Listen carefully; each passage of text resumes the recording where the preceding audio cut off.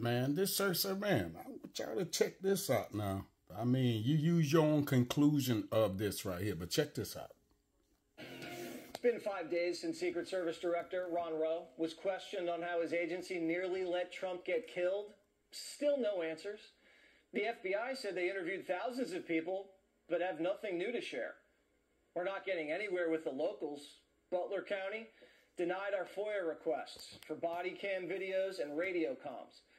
Today, the DOJ announced they arrested a Pakistani man with ties to Iran who also wanted to kill Trump. And they arrested him a day before Trump was shot in Pennsylvania, but told us just yesterday. We're also learning he's a Biden migrant who got loose on the FBI's watch. So is this arrest why Trump finally got Secret Service counter snipers at his rally? Are y'all listening to this? And if the FBI is arresting foreign agents who want to kill a former president, shouldn't the Secret Service have had more security in Butler? But this Iranian plot to kill Trump feels like a red herring, a distraction from the real failures on July 13th. I think the so. Fed's too busy setting up a Pakistani Entertainment purposes only. to neutralize the homegrown threat in PA. And what's going on in the Pittsburgh field office? The lead site agent hasn't been fired. We still don't have a name. No one in the media cares about the story anymore. Only a few good politicians want answers. Senator Josh Hawley told Primetime on Monday what one whistleblower revealed to him about the security that day. Listen. This individual, the site agent, the lead agent, was known to the Trump campaign to be inexperienced, to be ineffectual, to be frankly incompetent at their job. Well, I'm also told by whistleblowers that on that day, she was not enforcing the normal security protocols. She was not checking people's IDs. She did not use Secret Service agents. Most of the agents there that day were not Secret Service agents. They were Homeland Security agents. And get this, Jesse, most of them had never worked a rally before. More whistleblowers are coming out of the woodwork, and Senator Ron Johnson's been pretty busy contacting them. And here he is. Senator, what have whistleblowers come forward and told you?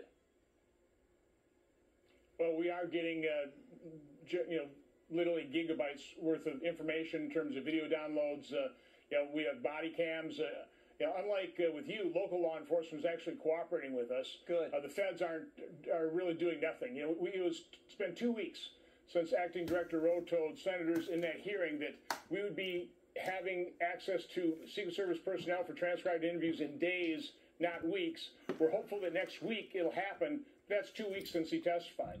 Uh, but, but the bottom line is, I think what our investigation in the end will be is an in- investigation of the investigation. That, that's sad, but this is not the way you really handle a, a credible investigation. If you've got a crime, you've got multiple perpetrators, what, what law enforcement does is try and apprehend those people and then interview them separately.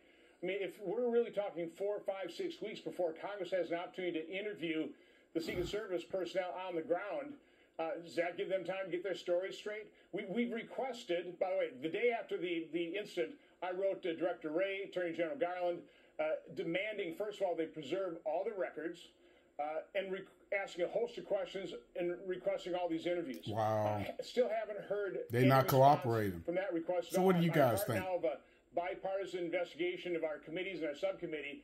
Uh, we need Democrats to at least threaten to compel testimony because we're just not getting the information from the feds, which is, from my standpoint, not unusual. I've, I've been trying to do oversight on federal agencies for years, right, and man. they just refuse to be accountable to the American public.